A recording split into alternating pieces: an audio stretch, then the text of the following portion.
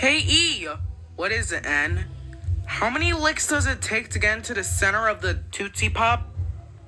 Hmm, that's such a good question you'd ask. So, um, one, two, three, four, five, six. Um, I'm just gonna leave. Eight, nine, ten, ten. Here you go.